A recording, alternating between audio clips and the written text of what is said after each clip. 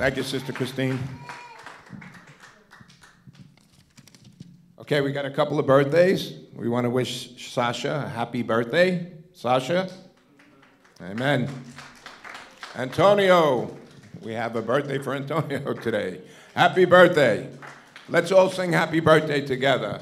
Happy birthday to you. Happy birthday to you. Happy birthday, Sasha and Antonio. Happy birthday to you. Amen. May God bless you and keep you. Many more happy and healthy ones. Amen. Okay. Um, we got a couple of, uh, well, you know, there's a fellowship after the service today. You know that. I'd like to see you downstairs. Um, March 11th, it's a Saturday. Pastor wants to have a prayer breakfast. What time is Pastor? Do you know? 10 o'clock Saturday morning, March 11th, okay? And Pastor's also starting a converts class on March 5th. Okay, that'll be following the service. Amen? Well, there's a couple of things too. Uh, we want to pray for Sister Joyce's Aunt Josephine, who's not doing too well. She's going to be going into hospice. Okay? We want to pray for Brother Doc. You know, he's uh, still in rehab. He's been through a lot, Brother Doc. God bless him. He's a good man. He loves the Lord, and we love to have him here at Lighthouse. Amen. I want to pray for my cousin Butch, who used to come to Lighthouse with his son Anthony. He has an autistic boy. He lost his daughter last year. He's by himself, really. And he's not doing too well physically, okay? Uh, just please keep him in prayer. You know, I try to reach him with God's word. Maybe one day the pastor and I and some of the board members, we will go visit him and pray with him. Okay? There are a lot of needs in this church. Okay? I know everybody has their own personal needs, unspoken requests. Um, but prayer is important. Prayer is important. And the most we can do is just reach out to God. And God hears our prayers, God answers prayers. He is faithful and just to forgive us and hear our prayers and to heal our wounds. God is good. God is wonderful. We just have to believe. It's, it's just a little drop of faith. It's just believing that God can. We know He can, but He will if we're willing. So let's just stand up for one minute. Let's just take these prayer requests to the Lord. I promise you won't be long. Father God, we just reach out to you today, Lord God. Lord, Jesus says, By my stripes you are healed. But more importantly, we just plead the power, the precious blood of Jesus on these needs. Cover them, Lord God, with your precious blood, Lord God. Present, all ills must flee, Lord God. Lord, let your spirit hover over them. Let them be filled in their hearts, Lord God. Lord, we just thank you, Lord God, that we can come to the throne of grace, that we can ask for these things in prayer. This is what you want of us, Lord God. You want us to believe. You want, Lord God. Touch these needs. Touch everyone, Lord God, that, that's going through something today. Touch our youth. Touch our, our leaders in this country, Lord God. Touch our families, Lord God. Touch our neighbors. Touch all those around us, Lord God. Let them know who you are our sovereign God, our loving God, our merciful God. In Jesus' precious name, amen and amen. You may be seated. Thank you again our uh, beloved pastor. Let me just say a few words about our pastor before I call him our shepherd to preach the word. And it's every Sunday that you know we come to church and we hear our pastor preach, but do we really listen to what he's saying? I mean, the last couple of Sundays I just sat there and I felt convicted. Why? Because I was really listening to that, the word that he was preaching. He preaches God's word. It's directly from the Word of God. Like I said before, the Bible is the body and blood of Christ. This is our foundation of salvation. Once we're saved, once we accept the Lord, once we're filled with the Holy Ghost, we got to open that Word. We got to meditate on that Word because that's what keeps us going. That's what keeps us founded and rooted in, the, in God Himself, in walking and living now. Now, we got a pastor here that I remember coming to this church, and I don't want to take too long. In 1976, I walked into this church. I was born and raised Roman Catholic. A lot of you know my uh, testimony, and I'm not going to give it because it's long. But being in this church for as long as I have, I remember the pastor, who was the pastor at the time, Pastor Stegan, walking up to me and he said to me, he said, Tom, if you want to grow in God's word, you got to get busy in the church. I used to sit back every Sunday. I used to come in, sneaking in the back late always, and, you know, just hide away. And Pastor Stegan knew that. He saw me coming in when he must have saw me every Sunday. So he walks up to me and he says, Tom, I need ushers. Can you be an usher? And I'm not going to say no. I said, Oh, sure, Pastor Stegan, I could be an usher. One thing led to another. I became an usher, the head of the. And then this opportunity came to drive a van. We needed van drivers because we had new families that were living in Lefrak City that needed to be picked up and come to the church. It was Pastor Deo and his family, Sister Gloria Singh, and all these wonderful people. So I worked six days a week. My wife was mad at me. She says, You work six days a week. Now Sunday you're going to go to church and drive the van. In those days, you used to drive the van in the morning, pick them up, bring them back in the afternoon, and come back at night. But I'll tell you, God knows what He's doing. God has a purpose. God has a plan. So, picking up Pastor Deo on his family, they were the nicest, quietest people. And my wife says to me, Who are the people that you pick up? I said, a beautiful family. I said, They, live in Lefrak City. They're so quiet.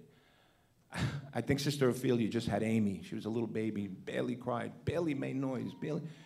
Little did we know that one day that this gentleman, Dale Gear, was going to be our pastor. Little do we know. I mean, we had the pastor at, at that time was Pastor Emil now. Pastor Emil came into this church after Pastor Stegan retired, and he said, I'm going to be here seven years. And seven years to the day, he left. He wasn't going to be here anymore. So I was on the, I've been on the board for quite a while. So I was on the board. I believe Deo was on the board at the time, right, Deo? And we started bringing people into the church. Now we had to go through this, you know, this whole process of getting a new pastor. And that was painful because we didn't know who do we want, who's going to be used to us, who's going to want to be at Lighthouse. And most of the questions asked, and being on the board, you know, you had the right to sit down and interview and ask them. And my one question was, do you have foresight? Do you see a future for Lighthouse? None of them said yes.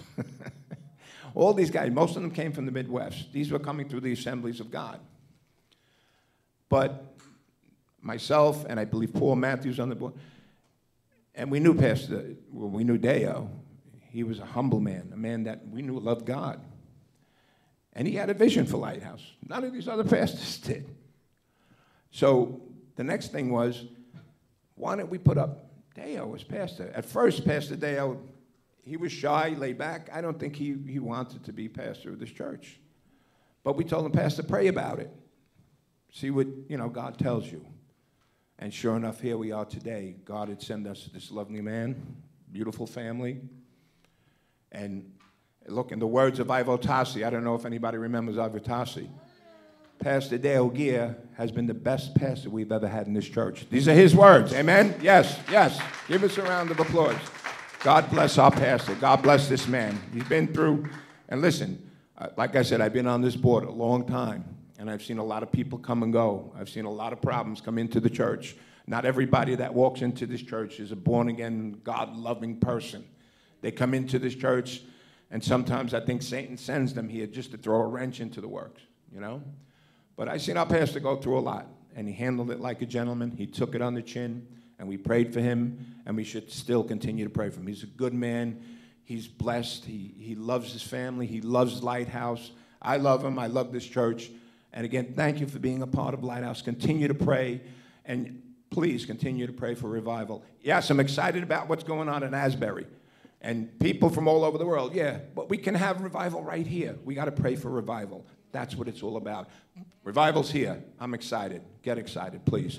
And our dear pastor, pastor, will you come and bring us your word? Thank you.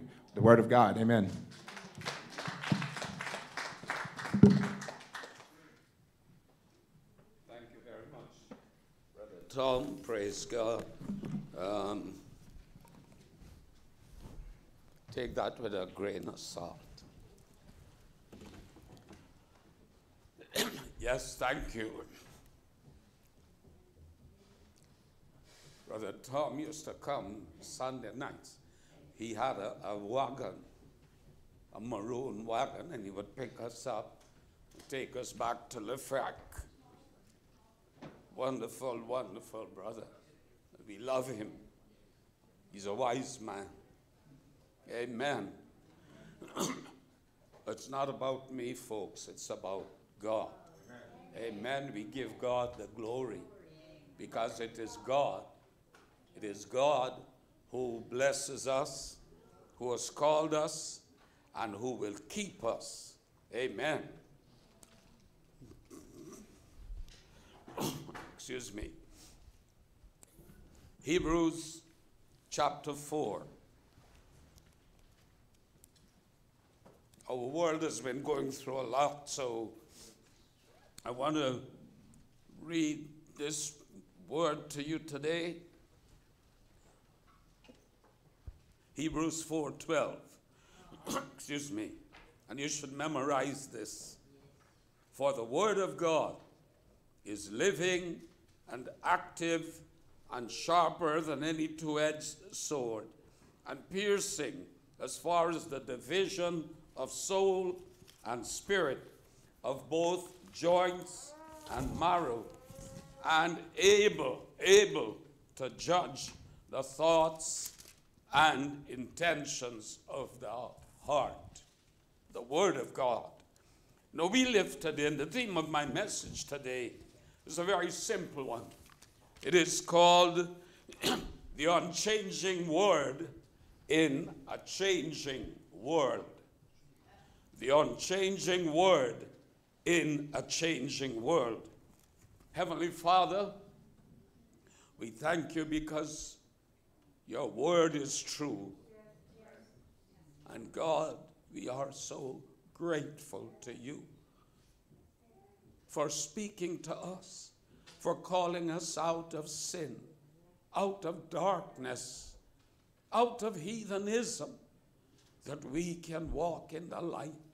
Thank you for this salvation that we have.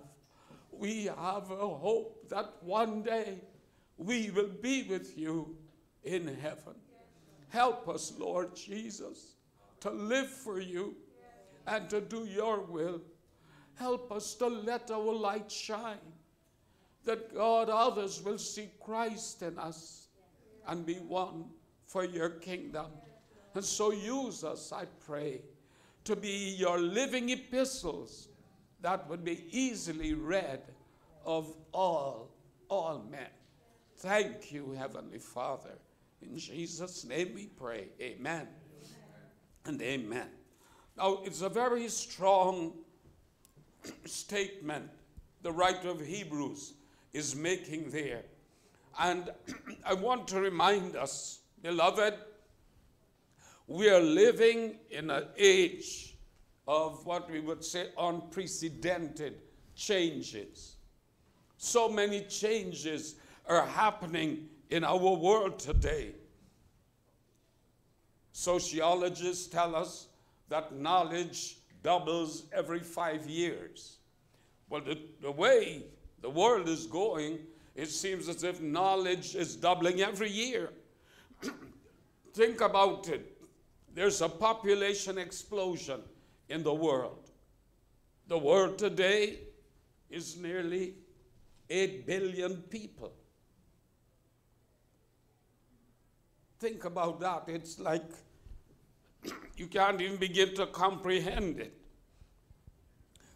Population explosion, we see also, we are witnessing today what we call explosions in. Uh, all kinds of, of apparatuses. We think of the ICT technology, computer technology. It is even moving so fastly that uh, some of these uh, that they made five years ago have become obsolete. They're not making them anymore. Advancement in technology and knowledge. In the book of Daniel, we read and because iniquity shall abound, he talks about uh, the spread of knowledge. Knowledge shall be on the increase. Word is everywhere. You can have an event that is happening in the Antarctic region, and uh, folks in the Arctic region can have, as it were, immediate information through the technology of the iPhone that we have today. There is also other explosions that we think about transportation. I was looking a couple of weeks ago. There is in Japan what they call the bullet train. And this train moves uh, so rapidly, it's, it's right to call it a bullet train. It's like a blur. And so all these, uh, you see, technology, because of the advancement uh, in the sciences, but it's all about knowledge. And what is happening in our world today is that I want to bring to your attention. And this is my main goal here today. There's another explosion that's taking place in the world, and that explosion is called unbelief. Unbelief. Because Satan is peddling his lies, trying as much as he can to make people not believe the Word of God. And even in the church today, there are unbelievers. Nobody says amen. amen. I'll, I'll, explain. Amen. There's some that are saying that there is no virgin birth of Christ. There's some that are preaching also that there is no Trinity. There's some that preach, you see, all kinds of stuff. They do not believe in healing, they do not believe uh, in uh, heaven or hell. And the Bible clearly teaches these are some of the basic teachings or doctrines of the Bible. And so they are not believing the Word of God.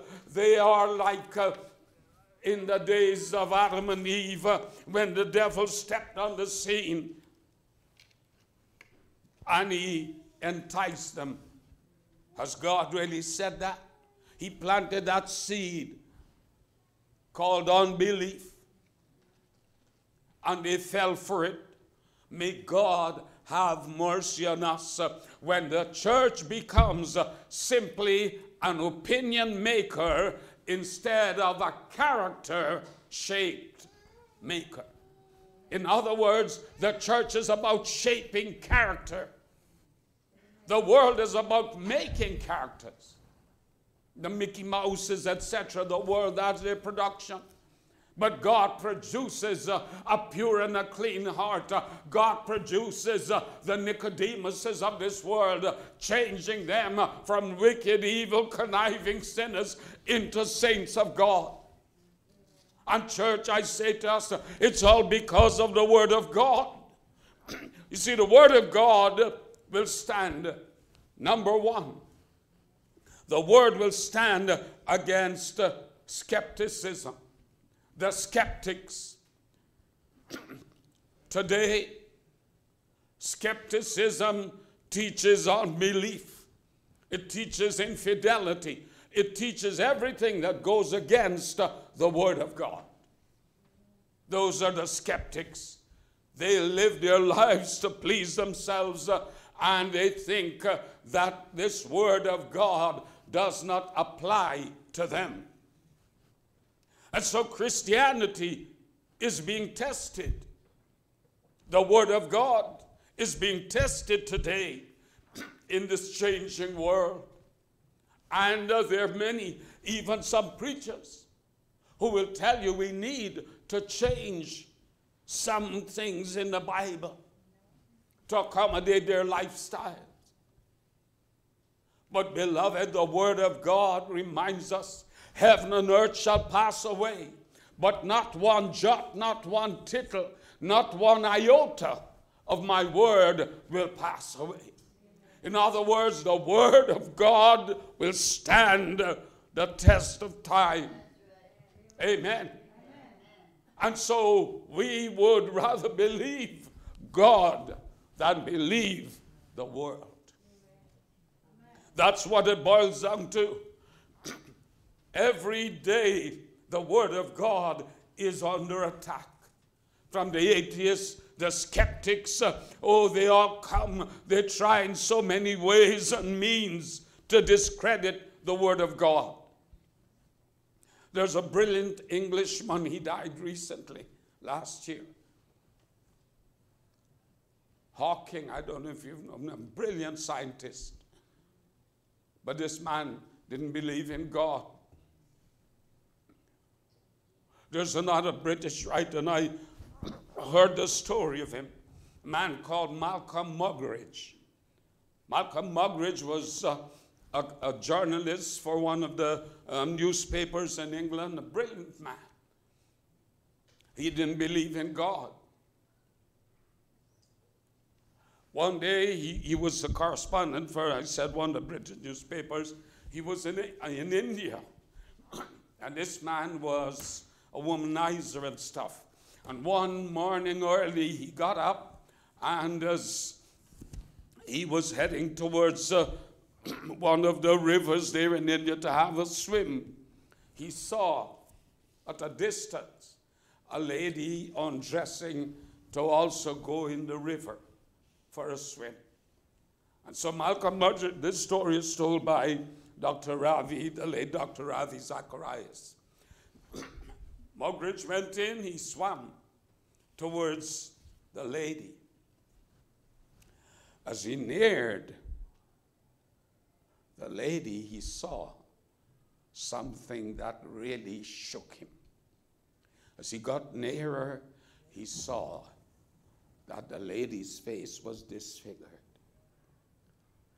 He saw, in simple terms, she was a leper.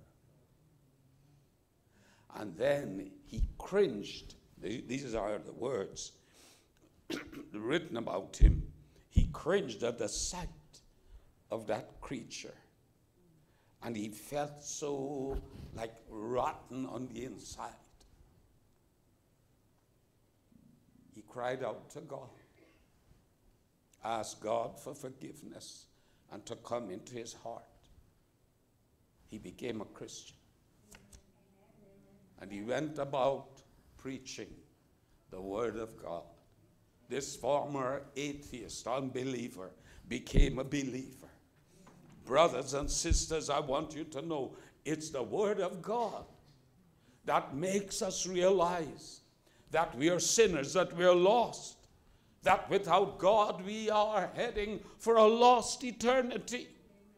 You see, it's so important, church. Uh, many make all kinds of statements. Uh, and they make the, all these postulations about Christianity, about the Bible, and uh, they say that the Bible is antique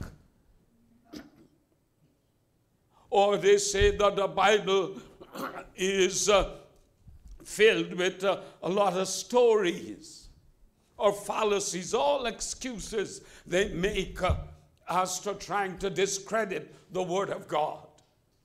But there are many atheists who, in trying to discredit this Word of God, as they studied it from Genesis to Revelation, they became Christians. Amen. Hallelujah because this is the Word of God.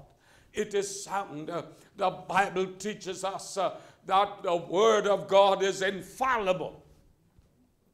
It is the inspired Word of God. And listen, you can read all the reviews in magazines, newspapers, or read essays by great minds, etc. But the Bible still remains the bestseller in the world today. Hallelujah. Glory to God. And so we need to understand philosophy will not cut it. Philosophy brings you into a lot of speculation. They teach you, okay, this is how this man thought. These are his writings, etc. But as you read about all these uh, philosophers, you understand one thing that they do not have a basic foundation for whatever they believe. it is all built on assumptions. When you get into the Word of God, you understand as you open up your Bible, in the beginning, God. Think of those, those few words. In the beginning, God. And it strikes you. It makes you understand that uh, what philosophers are telling you it's baseless because they have no foundation. But the Bible has a foundation. In the beginning, God. God is there. God was always existent. And it's no assumption. The scriptures teach us there is power in the blood of Jesus Christ power to cleanse, power to save, to deliver, to set free. Hallelujah. That God is the healer. He's the healer. Hallelujah. And so we need to understand uh, that this word of God does not change. Oh, yes, the world will change, but the word of God doesn't. Don't believe what the skeptics say. You see, this is the tragedy of it all that uh, multitudes of people become unstable. I said it, even sometimes Christians can be caught in that wave of listening to the skeptics and getting drawn in, carried away by this great tidal wave of iniquity because that's what this uh, changing world is all about. The longer you live, you're seeing more and more iniquity, ungodliness, immorality, corruption. It's happening every day. And so we need to take a stand that the Word of God is true. Heaven and earth will pass away, but not the Word of God. Amen. David reminds us, Your word is a lamp unto my feet, meaning it opens up the way for me to walk. A light to my pathway, giving me direction that I would not sidetrack. The Word of God is alive, beloved. the writer says it's sharper than a two edged sword. That simply means that uh, what goes uh, for the congregation also applies to the pastor. It's not me telling you, do as I say, but don't do as I do. No, no. Amen. The Word of God is the standard of our Christian practice. We live by the Word of God. That's why it's a two edged sword. It applies to you, it applies to me. Amen. Amen. None of us is bigger than the Word of God. Amen. Hallelujah. And then uh, he reminds us not only is it, uh, you see, that sharper than that two edged sword, you go in the book of Jeremiah, and Jeremiah describes the Word of God as a hammer. A hammer that breaks the rock those rock uh, of assumptions, uh, those rock of philosophies, you name them. The Word of God is a hammer that pulverizes them. That the power of the Word will break uh, the hardest of hearts. Hallelujah. And I've seen it. I've seen criminals become saints of God, uh, having heard the Word of God. At crusades, I've seen this. My pastor went to a place called Albouystown in Guyana, and it's notorious. It's one of those slum areas in Georgetown. Evil people, they rob you daylight, night, uh, any night or day. And a notorious criminal came to the crusade. He would try to disrupt the meeting the first night, second night. A few nights later, this same man, towering man, all kinds of marks on his face and stuff. He, you look at him and you know this was a criminal. But he came up to the altar and he accepted Christ. Hallelujah. Glory to God. That's what the Word of God will do, beloved. It will remove uh, the skepticism from lives. It will change you. It will make of you a new person, a new creation. That's what the Word of God will do. Amen. Glory to God. Secondly, God's Word will stand against the tide of atheism. Atheism. You see, a missionary told this story. He said, one day, this is in the Philippines, he said, one day, a guy came up. As he was walking, he saw on the street corner a young man, but this young man looked rough and rugged. And he said to himself, he got to come out from the jungle. He goes closer, he peeps. He sees this young man reading the Bible. and so, as the young man sat there reading the Bible, this passerby stops and he said, What are you reading? Bible. Couldn't speak much English. He said, Bible. When he said that, this, this passerby, he said, You believe that? He said, That's not true. Those things are not true. And so, this is what the Filipino said. Now he stood up. He said, Six months ago, missionary came, preached the word, I get saved. And as he stood up now, he really stretched out. He towered over the puny passerby. He said, Six months ago, without this Bible, you, I cook and eat.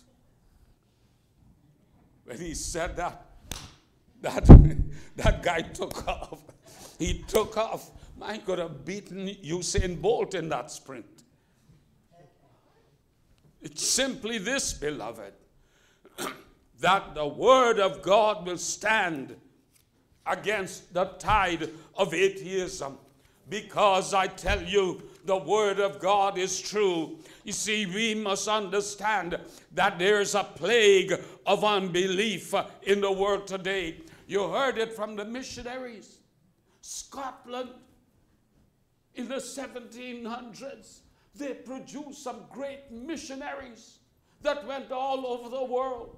That's how the Church of Scotland came about. John Knox, a fiery preacher, was from Scotland. But today, Scotland is virtually an atheist nation. Why? Because atheism crept in. they started going after the things of the world. And that's why I say to us, church, we need to understand we must stay in the Word of God. The Word of God never changes. Yes, people's beliefs, opinions, etc., will change, but the Word of God does not change. And so we must remember this Word of God is unchanging, and we need to stand up, stand up for truth stand up for righteousness. Here we are in a country that is blessed. And you think of it, one of the reasons this country is blessed, beloved, is that this country has been sending out missionaries all over the world. Amen. Hallelujah. The Assemblies of God alone has over 3,800 missionaries that are on the mission field, at home and abroad. We believe in missions. This is one of the founding, you see, founding stands that this church, the Assemblies of God, took uh, when it came into being uh, that they would study the Word of God and that they would preach the Word.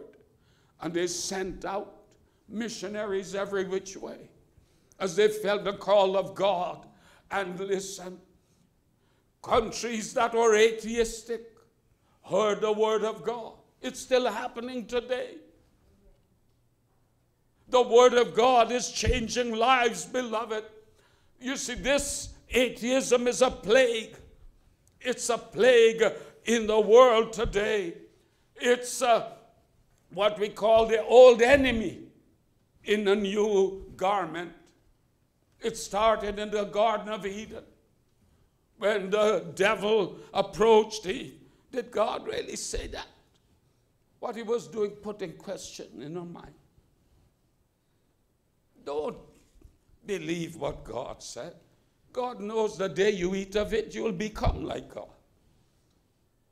She fell for the bait sin came into the world. Because of that sin, this world has been cursed. All because of yielding to the devil. Unbelief will destroy you and everything that you have. Faith in God, on the other hand, will change your life, will make you new, and will help you on your way. Faith in God will move mountains. Faith in God will calm all those troubled storms that may come against you.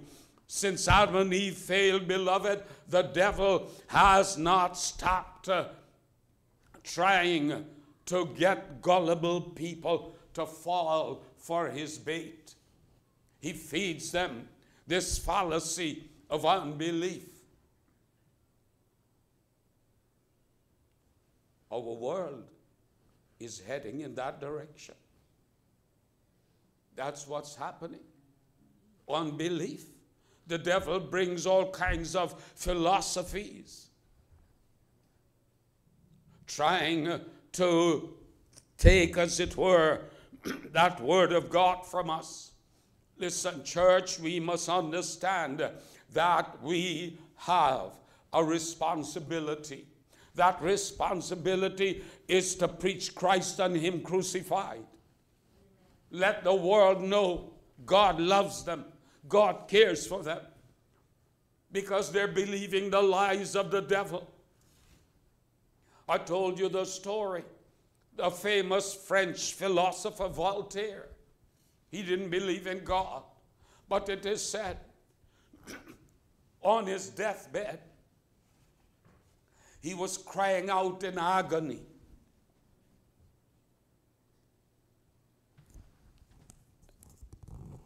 A nurse was with, his, with him at his bedside. And she said afterwards, this man was screaming, screaming. I could feel the flames. I could feel the flames. The fire of hell couldn't wait for him to die. It was already reaching out to him. And that nurse, she said she was never the same. She gave up nursing because she went like crazy just thinking.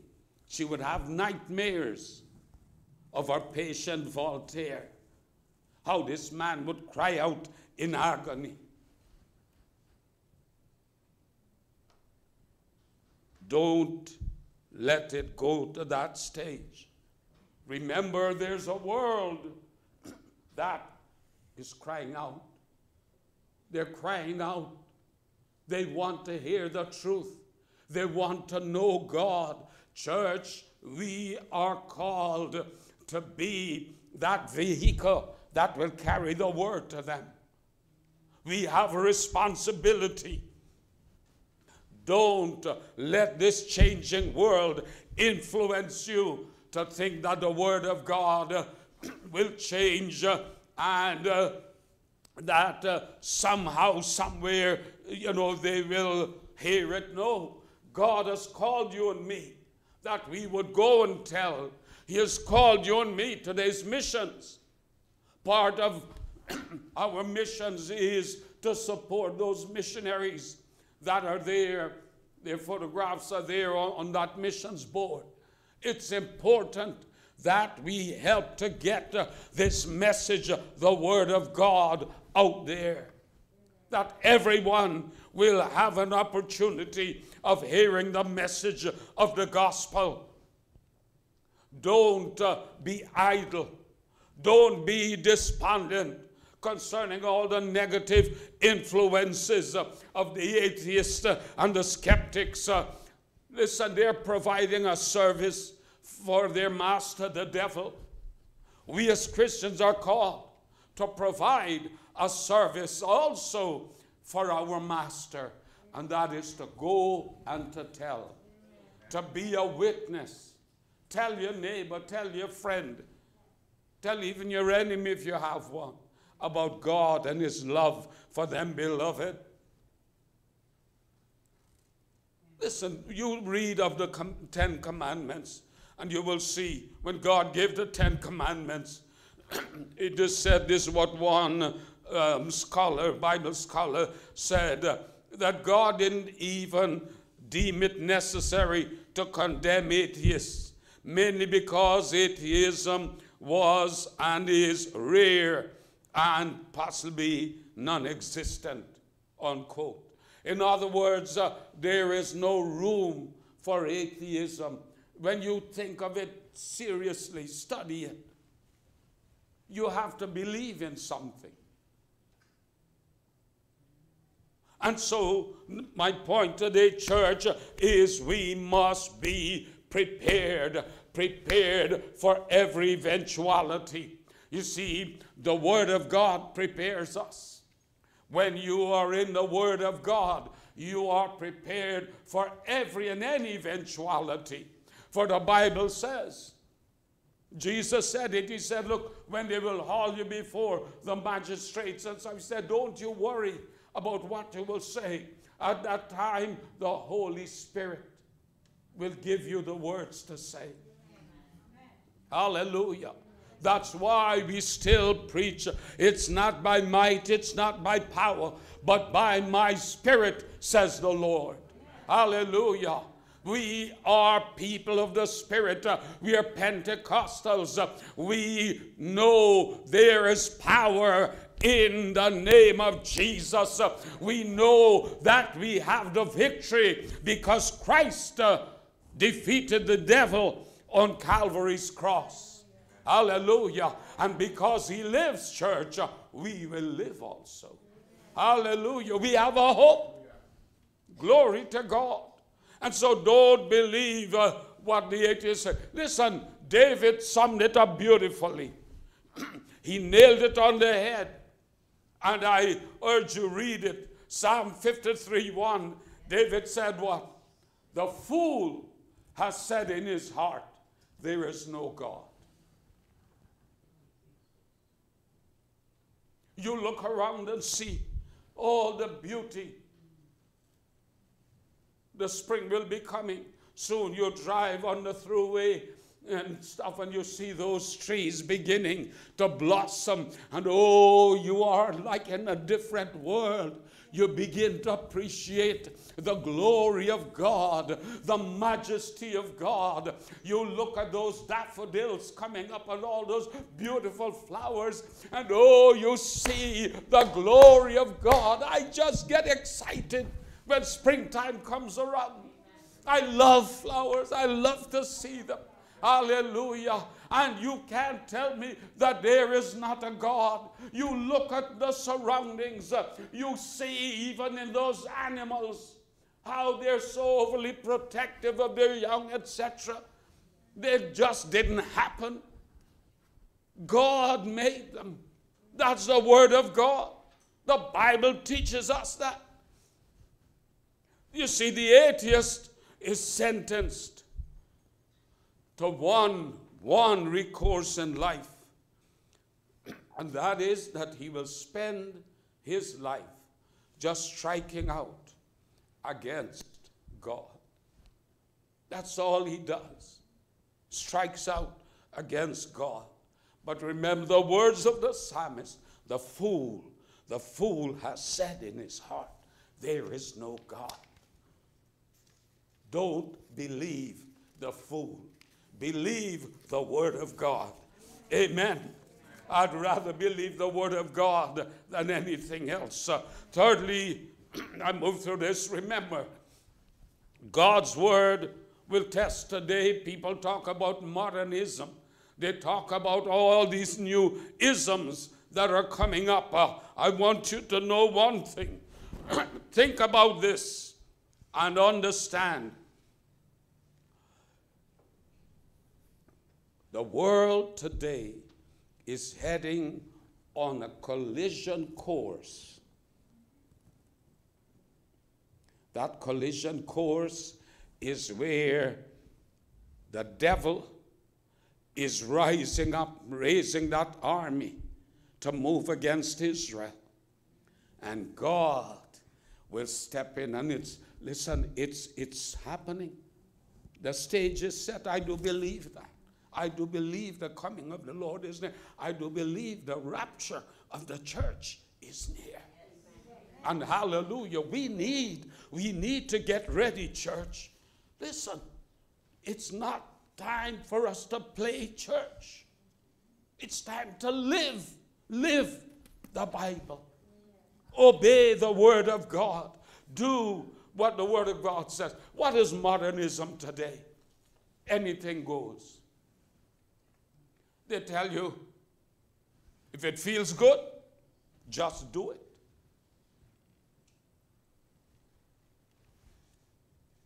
Come on. That's crazy. Just do it. You get into trouble. But that's that's what the devil is pushing. That's his agenda. He's telling people, listen, you can't use the words of Christianity anymore. We have, by the way, there's some Bible colleges that are teaching that, you know what, we need to re examine the scriptures because some of these things are kind of outdated. In other words, they're trying to say the Bible is not the inspired word of God. That's what they're trying to say. And so, instead of producing seminarians, they're producing cemeterians, I call them. People heading for the cemetery. Hallelujah. That's my coin of phrase. But that's exactly what they're doing because they're leading people to hell. They have some preachers who will tell you nothing is wrong with homosexuality. As a matter of fact, they have some homosexuals who are preachers. But my Bible hasn't changed, it doesn't change. And my Bible tells me it is an abomination unto God. Oh, I love them. They come to church, hallelujah, I'll pray for them. That's the Christian in us. We love everybody, no matter how rotten, wicked, evil, conniving sinners they may be. But I say, church, don't lower your standard because the world doesn't have any standard. Look at it. The world doesn't have any standard. And so we need to stand, stand our ground for God. Christians everywhere should be growing, growing, not tired of reading the word, but growing and growing in God. We need God in America. We need God in our world. And so we, as the church, must be ready. You see, if we don't do it, if we don't spread the word, who will? The devil won't. His agents won't. It's us, the church, the believers in Christ, the body of Christ. We are called to do the will of God. And so we live uh, in this changing world, but don't change your standards. Don't give up uh, your values. Stand your ground for God. the Bible says, uh, James the beloved wrote, he said, Submit yourselves therefore to God. Resist the devil, and he will what? Flee. He will flee from you. That's right. We don't have to flee from the devil. It's the devil who has to flee from us. Hallelujah. Glory to God because greater is he that is in us than he that is in the world. This unchanging world is full of demons and devils, but he that is in us, the Holy Spirit, energizes us. He gives us the power, the anointing to do the will of God. And I tell you, beloved, we are called of God to do God's will. Hallelujah. I close with this story. It was told by a pastor. He said, and I quote, there's a story told about a little boy who developed a terrible stomach ache from overeating in a feast of green apples. Because of the pain, he was obliged to tell his mother of his dilemma. Upon hearing of his misfortune and remembering the doctrine of her church, she informed him that he was wrong. He didn't have a stomach ache, it was all in the head. The boy reflected for a moment, then grabbed his stomach as the gnawing pain started again and said, Mom, I believe you're mistaken this time. I have inside information on the deal. You didn't get it. His inside information, he was feeling the pain in his stomach. You see, the church he attended said, No, no, you don't get pain and stuff, it's all in the head. Brothers, sisters, we need to thank God for the inside information. You know who's the inside information? The Holy Spirit. He lives in us. Hallelujah. It's time we begin to walk with God, to live for God, to do the will of God. And so I say to every one of us today, church, we are living in a world that is heading for a lost eternity. It's a changing world, destroying homes, destroying lives, destroying families.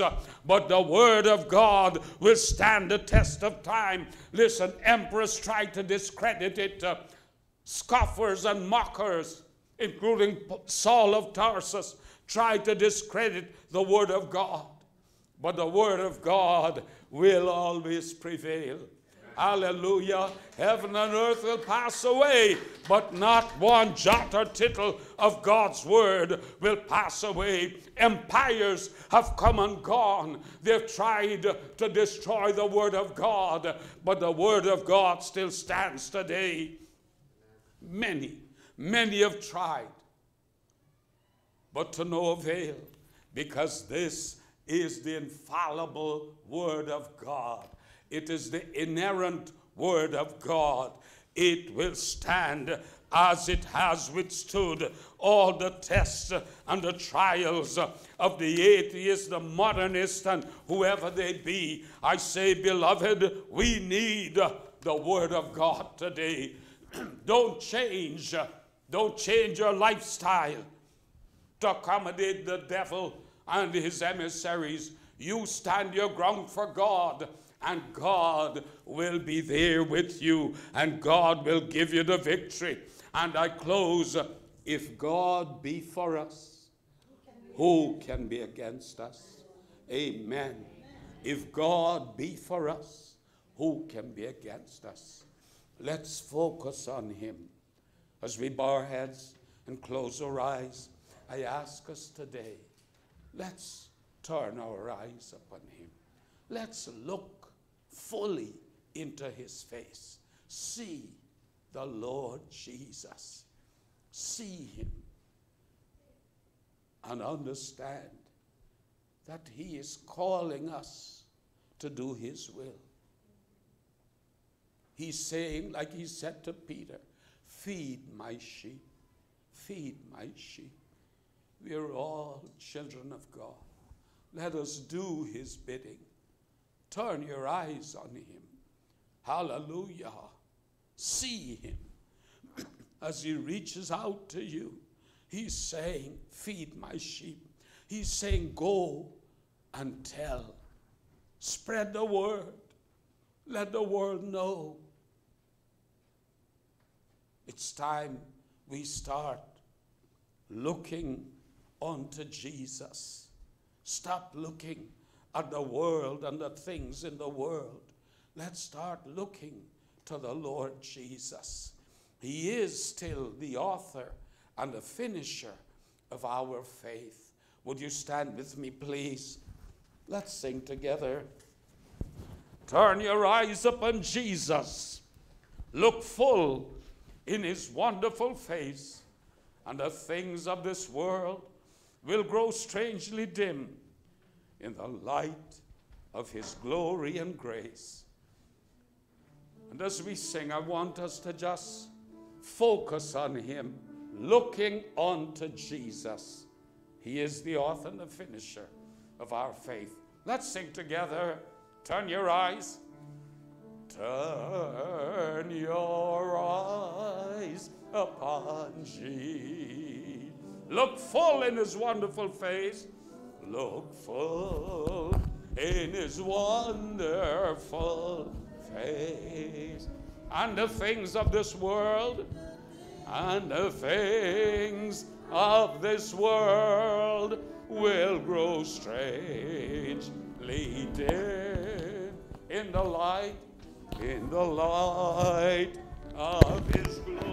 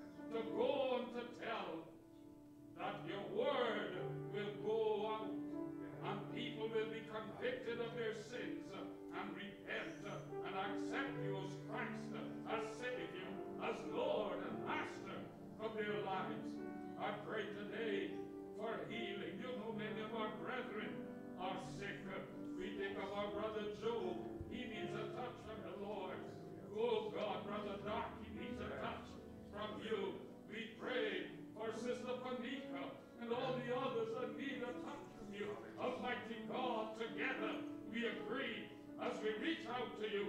We say, God, have mercy on your children. Touch every one of our brethren that are hurting today. And whatever the need is, our God will meet those needs. For that's your promise that my God shall supply all of our needs according to riches and glory. We speak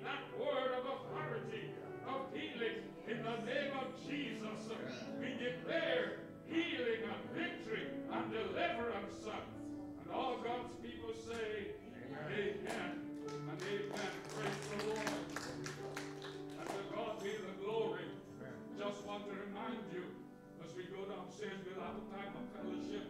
They have a, a few brethren who will be uh, sharing a testimony or singing all downstairs. So please, let's go straight downstairs and let's have a wonderful time of fellowship. All are invited. Amen. We miss many of our brethren this week. But praise God, we're here. And so kindly go down. Thank you.